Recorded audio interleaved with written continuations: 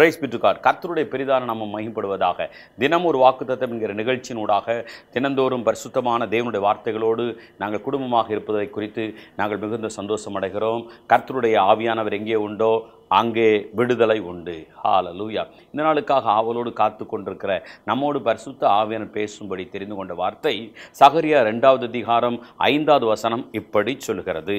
சகரியா ரெண்டு ஐந்து நான் அதற்கு சுற்றிலும் அக்கினி மதிலாய் இருந்து நடுவில் மகிமையாய் வாசமாய் இருப்பேன் என்று கர்த்தர் சொல்லுகிறார். ஹாலலூயா நான் அதற்கு சுற்றிலும் அக்கினி மதிலா இருந்து நடுவில் மகிமையாக இருப்பேன் என்று யார் சொல்லுகிறாராம்? கர்த்தர் சொல்லுகிறார். கர்த்தருடைய பெரிதான நாமம் மகிமைப்படுவதாக. இங்கே தேவனாய் கர்த்தர் இரண்டு விதமான காரியங்களை நமக்கு காண்பிக்கிறவராய் இருக்கிறார். வெளியேயும் பாதுகாப்பு உள்ளேயும் பாதுகாப்பை பரிசுத்த ஆவியானவர் கொடுக்கிறதாக நமக்கு வாக்குத்தம் பண்ணுகிறார். இந்த பேண்டமிக் டைமில் என்ன செய்ய போகிறோம் என்ற கலக்கத்தோடு இந்த நிகழ்ச்சியை பார்த்து கொண்டிருக்கலாம். ஐயோ என்ன நடக்கப் போகிறதோ என்று கலக்கத்தோடு நிகழ்ச்சியை பார்க்கலாம். ஆவியானவர் தெளிவாக சொல்லுகிறார். இரண்டு விதமான பாதுகாப்பை கொடுக்க போகிறார். ஒன்று வெளியே பாதுகாப்பு. நம்முடைய வீட்டை சுற்றிலும் நம்முடைய வாகனத்தை சுற்றிலும் நம்முடைய பிள்ளைகளை சுற்றிலும் நம்முடைய தொழில்களை சுற்றிலும் வியாபார எல்லைகளை சுற்றிலும் நம்முடைய ஊழியங்களை சுற்றிலும் தேவனாய் கத்தர் எப்படி இருக்க போகிறாராம்?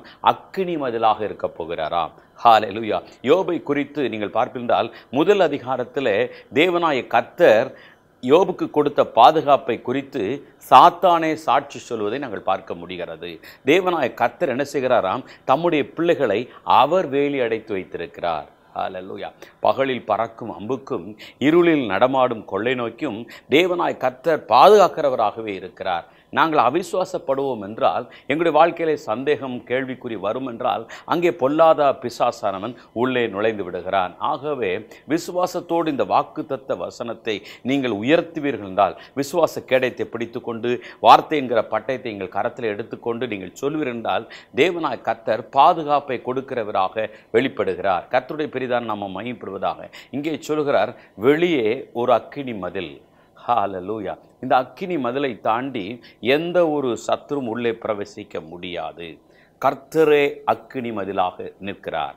கர்த்தருடைய தூதர்கள் இருக்கிறார்கள். மகிமை பொருந்தின தூதர்கள் இருக்கிறார்கள். ஏதேன் தோட்டத்தை விட்டு ஆதாம் ஏவாளை துரத்தி விட்டு அங்கே சுடலி பட்டத்தை தேவனாய் கர்த்தர் காவல் வைக்கிறார். கத்தருடைய நாமம் மையப்படுவதாக எந்த ஒரு மனிதரும் பார்க்க முடியாது. உள்ளே என்ன நடக்கிறது என்பதை பார்க்க முடியாது என்பதற்காக முழுவதுமாக சுடலி பட்டத்தை வைத்து விடுகிறார். தேவனுக்கு மகிமுண்டாவதாக அப்படியாகத்தான் நம்மை சுற்றிலும் ஒரு அக்கினிமயமான ரதத்தை தேவனாய் கத்தர் வைத்திருக்கிறார். நீங்கள் விசுவாசிக்க கூடும் என்றால் இன்றிலிருந்து உங்களோடு இருக்கிற தேவனாய கர்த்தர் உங்களுக்கு கொடுக்கிற பாதுகாப்பை எங்களுக்கு காண்பியும் என்றால் பரிசுத்த தேவனாய் கர்த்தர் காண்பிக்க உண்மையிலராக இருக்கிறார். தீர்க்கரசிக்கு நன்றாக தெரியும். தன்னை சுற்றிலும் அக்கினிமயமான ரதங்கள் இருக்கிற என்பதை தீர்க்கரசி அறிந்திருந்தார். ஆனால் வேலைக்காரன் அறியவில்லை. எலிசாவின் வேலைக்காரன் அறியவில்லை. இப்பொழுது தீர்க்கரசி சொல்லுகிறார் இவனுடைய கண்களை திறந்தரலும் என்று சொன்ன பொழுது வேலைக்காரனுடைய கண்கள் திறந்தது. ஓ அங்கே ஆச்சரியத்தை அவன் பார்த்தான். எங்கு பார்த்தாலும் அக்கினிமயமான தேவதூதர்கள் அக்கினிமயமான ரதங்களோடு தேவதூதர்கள் பாதுகாப்பான் என்று கொண்டிருந்தார்கள். இதை விசுவாசிப்பீர்கள் என்றால் நீங்கள் ஒருவேளை பலவீனத்தோடு இந்த நிகழ்ச்சியை பார்த்து கொண்டிருப்பீர்கள் என்றால் இந்த வாக்குத்தத்த வசனத்தை நீங்கள் அறிக்கை பண்ணுங்கள். நீங்கள் சந்தேகத்தோடு இருப்பீர்கள் என்றால் தேவனாய் கர்த்தர் சொல்கிற சந்தேகத்தெல்லாம் தூக்கி எறிந்துவிட்டு அவிசுவாசத்தை தூக்கி எறிந்துவிட்டு பயத்தை தூக்கி எறிந்துவிட்டு என்னை சுற்றிலும் தேவனாய் கர்த்தர் அக்கினி மதிலாக இருக்கிறார் என்கிற சொல்லி ஒரு நிச்சயத்தோடு அமர்ந்திருக்கும்படி விரும்புகிறார். கர்த்தருடைய நாம் மேம்படுவதாக. முதல் லேயர் பாதுகாப்பு. இரண்டாவது பாதுகாப்பு என்ன சொல்லுகிறார்? நான் அதன் நடுவில் மகிமையாக இருப்பேன் என்று கர்த்தர் சொல்லுகிறார். ஹாலலூயா. கர்த்தரே நம்மிடல் இருக்கும்படி இறங்கி வந்திருக்கிறார். ஆலலுயா எவ்வளோ பெரிய பாக்கியம் பிரியமானவர்களே சின்ன வயதில் பாடின பாடல் தான் ஞாபகம் வருகிறது. இயேசு வந்த வீட்டிலே சந்தோஷம். இயேசு வந்த வீட்டிலே வியாதி இல்லை. இயேசு வந்த வீட்டிலே சமாதானம் என்று நாம் எவ்வளோ அருமையாக பாடினோம். இங்கே தேவனாய் கத்தை நமக்கு வாக்குத்தத்தையும் கொடுத்திருக்கிறார். மகிமையாக இருப்பேன். ஹாலலூயா. மகிமையின் நம்பிக்கையாக கிறிஸ்துவானவர் உங்களுக்குள் இருப்பதே அந்த ரகசியம் என்று சொல்லி பவுலப்போஸ்தலன் நமக்கு வெளிப்படுத்துகிறவராய் இருக்கிறார். ஆகவே கலக்க வேண்டாம் பய வேண்டாம் திகில் வேண்டாம். இந்த வாக்குத்தத்த வசனத்தை விசுவாசத்தோடு நீங்கள் விசுவாச கிடைத்து பிடித்துக்கொண்டு இந்த வாக்குத்தத்த வார்த்தைகளை நீங்கள் எடுப்பீர்கள் என்றால் தேவனாய் கர்த்தர் இந்த இரண்டு விதமான ஆசீர்வாதங்களோடு நம்மை சந்திக்கிறவராய் இருக்கிறார். கண்களை மூடி செவிக்க போகிறோம். ஆண்டவரே இந்த ஆசீர்வாதத்தை எனக்கு தாங்க சுவாமி. நான் உங்களுடைய பிள்ளை அப்பா. எனக்கு இந்த ஆசீர்வாதத்தை தாங்க ஆண்டவரே.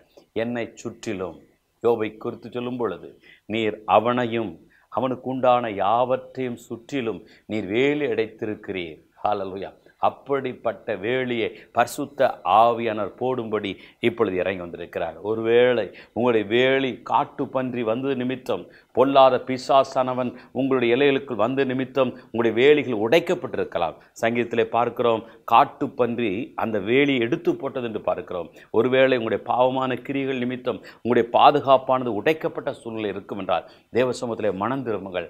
ஆண்டவரே சுவாமி என்னுடைய சுவாவத்தை நிமித்தம் நான் சுவாமி. இந்த வேலியானது எடுக்க எடுக்கப்பட்டதாக இருக்கிறது. இந்த வேலி வேலியானது உடைக்கப்பட்டதாக இருக்கிறது. எனக்கு ஒரு விசை இறங்கும் என்று கேளுங்கள். தேவனாய் கர்த்தர் தம்முடைய அக்கினி மதிலாக உங்களுக்கு வேலி மறுபடியும் வேலி அடைத்து உங்களை காக்கும்படி அவர் இறங்கி வரப்போகிறார். கண்களை மூடி செவிக்கலாமா பரலோகத்தில் வாசமனிரு பரிசுத்த பிதாவே. தேவனே உமக்கு நன்றி செலுத்துகிறோம் சுவாமி. தங்களுடைய பாவத்தை நிமித்தம் அப்பா காட்டு பன்றி அந்த வேலியை அடைத்து போட்டது. அப்பா எடுத்து போட்டது என்று பார்க்கிறோம் சுவாமி. காட்டு பன்றி. அந்த வேலியை எடுத்து போட்டதுன்னு பார்க்கிறோமே சுவாமி. கிருபையா இறங்குங்க. மறுபடியுமாக உங்கள் பிள்ளைகளுக்கு பாதுகாப்பை கட்டளையிடுங்கன்னு செபிக்கிறோம் சுவாமி. பாதுகாப்பை கட்டளையிடுங்க. அப்பா உங்களுடைய வாக்குத்தத்தை நாங்கள் கரங்களில் எடுக்கிறோம் சுவாமி. விசுவாசத்தோடு அறிக்கை பண்ணுகிறோம். எங்கள் ஆத்மாவில் அறிக்கை பண்ணுகிறோம் சுவாமி. நான் அதற்கு சுற்றிலும் அக்கினி மதிலாக இருப்பேன் என்று சொன்னேன் இப்பொழுது உங்களுடைய பிள்ளைகள் இருக்கிற இடத்துல பிரகாசிப்பிக்கிற ஒரு அக்னி இறங்கி வருவதாக. தேங்க்யூ லார்டு அக்னி மதிலாக இறங்கி வருகிறீர். அதற்காக நன்றி. நடுவில் மகிமையாய் வாசமாய் இருக்கும்படி இறங்கி வந்து விட்டீர். அதற்காய் ஸ்தோத்திரம். தொடர்ந்து உம்முடைய நல்ல நாமத்தை மகிமைப்படுத்து சுவாமி. இந்த வாக்கு தத்துவத்தை யார் யாரெல்லாம் விசுவாசத்தோடு கேட்கிறார்களோ இந்த வார்த்தையின்படி ஜெபிக்கிறார்களோ அவர்களுக்கு இன்றைக்கு இப்பொழுதிலிருந்தே இந்த பாதுகாப்பு உண்டாவதாக. இன்றைக்கு இப்பொழுதிலிருந்தே இந்த பாதுகாப்பு உண்டாவதாக. நீர் அப்படியே செய்கிறீர் அதற்காக ஸ்தோத்திரம். எல்லாவித சோர்வுகளும் அவிசுவாசங்களும் கலக்கங்களும் பயமும் திகளும் நம்முடைய பிள்ளைகளுடைய சிந்தனைகளை விட்டு வெளியேறுவதாக. தேவ சமாதானம் உண்டாகட்டும். ரட்சகர் நாமத்தில் ஜெபிக்கிறோம். இந்த ஆசீர்வாதங்களை எடுத்துக்கொள்கிறோம் நல்ல பிதாவே ஆமேன் ஆமேன். கர்த்தர் நல்லவர் அவர் கிருபை என்றும் என்னாலும் உள்ளது. நான் அதற்கு சுற்றிலும் அக்கினி மதிலாக இருந்து நடுவில் மகிமையாய் இருப்பேன் என்ற வார்த்தையின்படி தேவனாய் கர்த்தர் நம்மத்திலே மகிமையாக வாசமாக இருக்கும்படி இறங்கி வந்து விட்டார் ஆமாம்